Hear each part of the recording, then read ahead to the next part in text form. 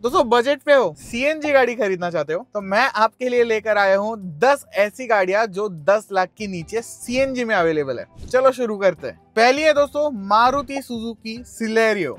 ये आपको 6.73 लाख से शुरू होती है और VXI और जेड ZXI वेरिएंट्स में अवेलेबल है। और माइलेज देखिए माइलेज मारुति सुजुकी की गाड़ी है तो 35 किलोमीटर पर केजी का माइलेज दिख जाता है। और फीचर्स की बात करें तो आइडल स्टार्ट स्टॉप और डुअल टोन इंटीरियर जैसे फीचर्स देखने को मिल जाते हैं, जो कि एक मॉडर्न लुक दे देती है। हाँ मुझे पर्सनली जो है, पहली वाली सिलेरियो ज़्यादा पसंद है, पर नई वाली सिलेरियो भी काफ़ी अच्छी है। इसमें आपको थ्री सिलेंडर इंजन और एक एडिक्वेट पावर भी दिख जाती है। नेक्स्ट है दोस्तों, मारुति सुजुकी वैगनार। हाँ आप बोलोगे कि मारुति सुजुकी वैगनार क्यों रेकमेंड कर रहे हो यार? देखिए वैगनार जितनी आपको बोरिंग लगती होगी, नई लेकर भी पुरानी ही लगती है। ये एक बात तो सही है कि वैगनार इंडिया का आज का वर्क हॉर्स बन चुका है। हाँ कैबी वालों को भी पसंद है और एवरेज बजट बायर को भी ज़्यादा पसंद है। इसमें भी आपको one litre three cylinder engine available है। ये आपको V X I C N G variant के साथ टेन लाख के अंडर मिल जाएगी। इसकी एग्जैक्ट प्राइस है दोस्तों five point seven four lakhs ex showroom और माइलेज 33.85 किलोमीटर पर केजी इसके की फीचर्स हम कह सकते हैं, एक कॉम्पैक्ट डिज़ाइन है, फिर भी अंदर अगर आप देखोगे तो एडिक्वेट स्पेस मिल जाती है। हाँ हेडरूम वगैरह काफ़ी अच्छी मिल जाती है, पीछे वाले पैसेंजर्स को भी। और फ्यूल एफिशिएंट इंजन और लो मेंटेनेंस कॉस्ट तो है ही तो क्यों ना वैगनर ली जाए। नेक्स्ट गाड़ी आती है दोस्तों मारुति सुजुकी की स्विफ्ट स्विफ्ट जब आई थी दोस्तों, एक हैंडसम कार थी, बहुत अच्छा हैंडलिंग था, पर अब जो है, वो सीएनजी में भी अवेलेबल है।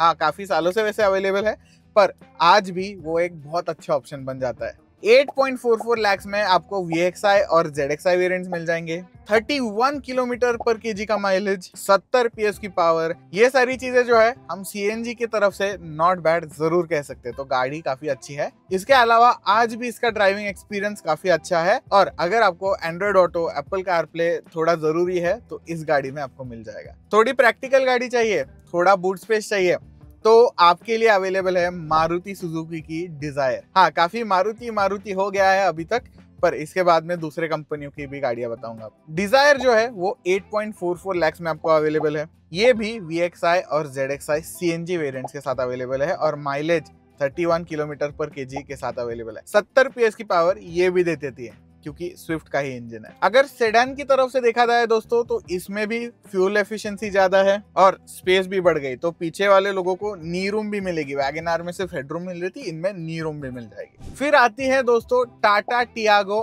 आई ये आपको एक्सी एक्सएम और एक्सटी वेरिएंट्स में सीएनजी के साथ मिल जाएगी। हाँ माइलेज जो है, वो सुजुकी वाले गाड़ियाँ जो है, उनके साथ ज़्यादा कम्पीट नहीं करती। 26 किलोमीटर पर केजी का माइलेज दे देगी। पर आप एक चीज़ नहीं एक्सपेक्ट कर सकते कि सुजुकी जैसी माइलेज कोई दूसरी कंपनी दे पाए। और 6.45 लाख से ये आपको अवेलेबल हो जाती है। तो आपने क्यों खरीदनी चाहिए?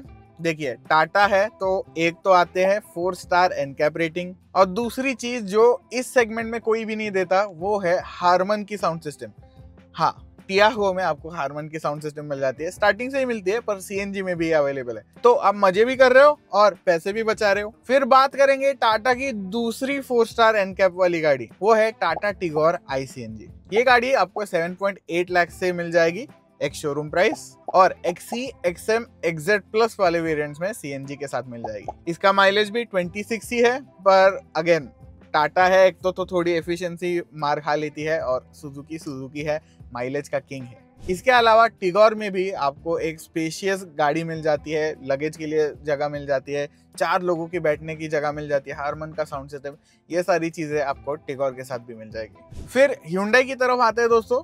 ह्यूंडई की पहली गाड़ी होने वाली है ग्रैंड आइटन न्यूस दोस्तों सीएनजी ग्रैंड आइटन जो है आपको मैग्ना और स्पोर्ट्स वेरिएंट के साथ अवेलेबल है 10 लैक्स के अंडर और इसकी फ्यूल एफिशिएंसी हम कह सकते हैं थोड़ी टियागो से कम है। ऑलमोस्ट सेम ही है वैसे। 25 किलोमीटर पर केजी की फ्यूल एफिशिएंसी दे देगी। हाँ पैसा थोड़ा ज़्यादा भर रहे हो, पर फोर सिलेंडर इंजन आ रहा है। इसके अलावा आपको वायरलेस चार्जिंग मिल रहा है। एक proper touch screen infotainment system भी अवेलेबल है। टियागो की आफ्टर मार्केट लगती है और सुजुकी जो है, वो एकदम अच्छे से इंटीग्रेट नहीं करता। सिमिलर टू टियागो अगेन अगर आपको ह्यूंडई की गाड़ी चाहिए सीएनजी में थोड़ी और स्पेस चाहिए तो आपके लिए है और सीएनजी ये गाड़ी आपको 8.17 लाख पे शुरुआत हो जाती है। ये भी एस और एस एक्स वेरियंट्स के साथ आती है। तो एस एक्स वेरियंट जो है, अगर आपको पता नहीं ऑलमोस्ट टॉप एंड वेरियंट है तो फीचर्स भी काफ़ी अच्छे मिल जाते हैं। प्रोजेक्टर हेडलैम्प्स इंफोटेनमेंट स्क्रीन ये सारी चीज़ें आपको मिल जाती है। एलोई व्हील्स सारी चीज़ें अवेलेबल है। इसका माइलेज जो है वो लगभग 26 किलोमीटर पर केजी का ही देने वाली है। तो रिफाइनमेंट भी अगर ज़्यादा चाहिए माइलेज भी अच्छा चाहिए टियागो जितना अगर आपको चल जाता है तो आपके लिए और एक अच्छा ऑप्शन बन जाता है। हाँ ह्यूंडई ने अभी तक ऐसे प्रॉपर ट्विन सिलेंडर टेक्नोलॉजी नहीं लाई है तो बूट स्पेस थोड़ा कॉम्प्रोमाइज होने वाला है। थोड़ा क्या, काफ़ी ज़्यादा होने वाला है। तो इतने बड़े बूट में आप हैचबैक वाली जगह लेकर जाने वाले हो। पर रुकिए सबसे वैल्यू फॉर मनी गाड़ी ये होने वाली है। अगर आपको सात लोग लेकर जाने हैं प्रीमियम गाड़ी चाहिए नेक्सा की तरफ़ से तो आपके लिए है मारुति सुजुकी की एक्सेल सिक्स सी ये गाड़ी खरीदने के लिए आपको थोड़ा बजट जो है वो खींचना पड़ेगा। 12.55 लाख एक्स शोरूम प्राइस पे अवेलेबल है। 26.32 किलोमीटर पर केजी का माइलेज देगी और जीटा वेरिएंट में ये नेक्सा के साथ अवेलेबल है। इसमें आप छह से सात लोग लेकर जा सकते हो। माइलेज बढ़िया है एफिशिएंसी बढ़िया है जगह बहुत ज़्यादा है और रिफाइनमेंट बहुत बढ़िया है। तो क्या आपने दो ढाई लाख ज़्यादा डालकर एक्सेल सिक्स खरीदनी चाहिए? ये देखिए अगर आपके नीड सेटिस्फाई होते हैं तो दो लाख ज़रूर डाल लीजिए आप कोई प्रॉब्लम नहीं है। इसके अलावा कंफर्ट भी तो अवेलेबल है आपको। तो दोस्तों ये सारी गाड़ियाँ तो मैंने बता दी आपको बट इनमें से बेस्ट कौन सी है? देखिए हमने अलग अलग मैन्युफैक्चरर यहाँ पे कवर किए हैं मारुति टाटा फिर हुंडई भी कवर किए। तो चलिए बात करते हैं। देखिए अगर आपको थोड़ी बहुत अच्छी दिखने वाली गाड़ी आ, और आपको वैगनर नहीं खरीदनी। और similar engine similar power figure similar mileage जो है वो आप खरीदना चाहते हो तो स्विफ्ट मुझे पर्सनली काफ़ी अच्छी लगी है। हाँ उसमें हम कह सकते हैं कि सेफ्टी थोड़ा क्वेश्चन मार्क है तो क्या टीआगो आईसीएनजी पे uh, चले जाए उसमें ऑटोमेटिक वेरिएंट भी अवेलेबल है तो कैसे करा जाए? देखिए अगर माइलेज बहुत ज़्यादा आपको मैटर करता है तो ऑब्वियस आंसर है कि स्विफ्ट या फिर वैगन की तरफ़ जा सकते हैं। बट अगर मुझे सेफ्टी मैटर करती है और मुझे पर्सनली करती है सेफ्टी मैटर तो इसीलिए पर्सनली मुझे इस केस में टियागो आई जो है, एक बेहतर ऑप्शन लगता है। अगर आप फीचर्स के बारे में बात करो सेफ्टी के बारे में बात करो हाँ इंजन और माइलेज जो है, वो थोड़ा सा इफी है बट सेफ्टी मुझे बहुत ज़्यादा मैटर करती है। मैंने कह रहा हूँ कि मारुति की गाड़ियाँ सेफ़ नहीं होती, वैसे नहीं होती। देखिए, इससे अच्छा कि दो तीन लोग की फैमिली जो है टू व्हीलर पे घूमे, एक तो चीज़ ज़ाहिर सी है कि स्विफ्ट अगर ली जाए या फिर कौन सी भी सुजुकी की गाड़ी ली जाए वो उसमें सेफ़ होने वाले हैं। बारिश से आ, जो भी रास्ते पे डेंजरस सिचुएशंस बन जाती है उससे भी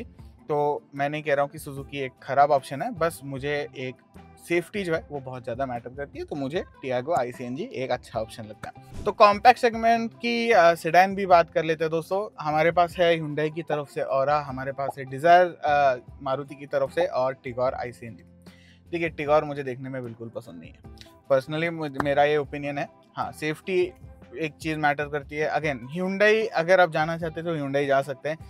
रिफाइंड इंजन है मेंटेनेंस मतलब सर्विस जो है, वो काफ़ी अच्छी है। बट सर्विस चार्ज जो होता है, वो ह्यूंडई का थोड़ा ज़्यादा है।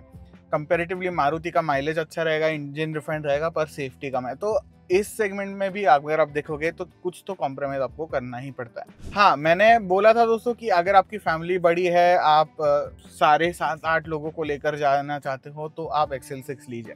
एक्सेल सिक्स बहुत अच्छा ऑप्शन है, पर अगर आप थोड़ा बजट पे हो तो आप एर्टिगा की तरफ़ भी देख सकते हो। एक्सेल सिक्स थोड़ा आपको लग्जूरियस लगेगा एर्टिगा जो है, वो ओवरऑल आपको एक सस्ती गाड़ी देखने को मिल जाएगी कंपेरेटिवली गाड़ी तो ओवरऑल सेम ही है इंजन भी सेम ही है तो ज़्यादा फ़र्क नहीं पड़ेगा। तो दोस्तों, मैंने तीन गाड़ियाँ ऐसे बता दी, पर इन सबसे मुझे अगर एक ही गाड़ी खरीदनी होती तो कौन सी खरीदी जाती? देखिए, मुझे साउंड सिस्टम बहुत मैटर करता है। आपको पता चल गया होगा कि मैं कहाँ जा रहा हूँ इससे। सेफ्टी मैटर कर रहा है। इंजन थोड़ा इफ़ी चल जाएगा, क्योंकि वैसे भी मैं काम कर रहा हूँ उससे। अगर आपने फोर सिलेंडर रिफाइंड इंजन नहीं चलाया तो आपको क्या ही पता कि क्या ही मज़ा आएगा मतलब फ़र्क क्या पड़ेगा? तो इस केस में दोस्तों मैं टियागो आई सी एन जी की तरफ़ चले जाऊँगा। मुझे टिगोर पसंद नहीं है तो टियागो मुझे पसंद आती है। मैंने चलाई भी है काफ़ी। तो सी एन जी में आपको ज़्यादा एफर्ट आ, मारना पड़ेगा क्योंकि वैसे भी गाड़ी में पावर कम है।